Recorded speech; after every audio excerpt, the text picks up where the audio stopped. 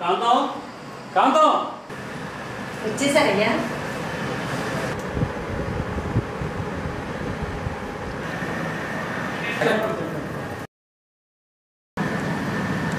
ఎంత కాలం అయిందయ్యా వీటిని చూసి?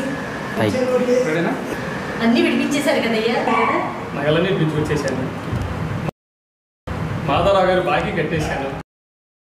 ఆ లెక్కలు కూడా చేసుకుని ఒకసారి చూసుకో వచ్చే ఏడాది పంట కూడా స్వస్తికి వారి విత్తనాలే వాడదామయ్యా వచ్చే ఏడాది మాత్రమే కదా. ప్రతి ఏటా స్వస్తికి వారి ఇత్తనాలనే వాడదాం.